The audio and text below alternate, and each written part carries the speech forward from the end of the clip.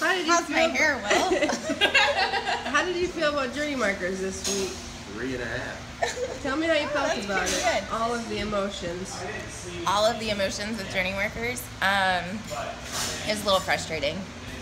Um, like, hopefully by the end of the race it won't be frustrating, but it just nothing happened. I didn't really know what to do. I felt uncomfortable, but not like a healthy, good uncomfortable, just like a bleh, uncomfortable.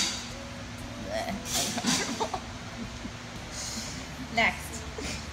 Do you think that you will keep trying to do it so it gets less uncomfortable? Yes, actually, I'm thinking about doing it today because I don't have a computer, and the rest of my team is going to be working on a computer in the morning.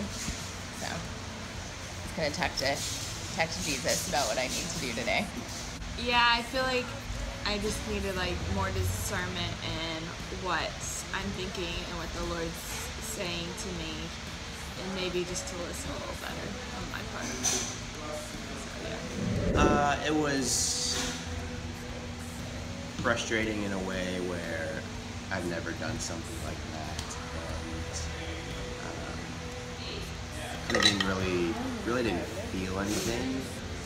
But I think if I keep doing it um, and keep practicing it, I'm be able to just live more in the Holy Spirit uh, and in His presence. But it was tough.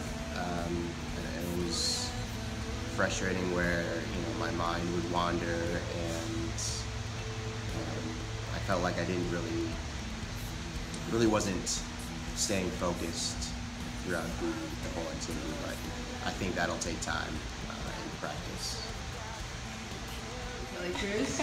Journey Markers was good. It was a bit challenging um, just because there was a lot going on and it was hard to get my head clear and just uh, decipher between what the Lord was calling me or asking me to do or go um, between my own thoughts. So, yeah. Caleb? Journey markers was difficult. Will and I prayed for a while and asked God to show us different things, and I felt like I got a couple things, and then we walked around the town and we couldn't find anything, so it was a little discouraging, but we're still on the lookout for those things. How was Race Journey the Rage Markers? challenge journey markers for you this week. Journey markers was really cool. I love these type of exercises. I have done them in the past before. And with this one, I was doing my Bible study in the morning and I really felt like God gave me a specific shape to look for and then it was confirmed again, um, that shape. And so I was really, really optimistic and hopeful. And then I was walking around town and I'm like, oh my gosh, this is the place. There's gonna be a divine intervention.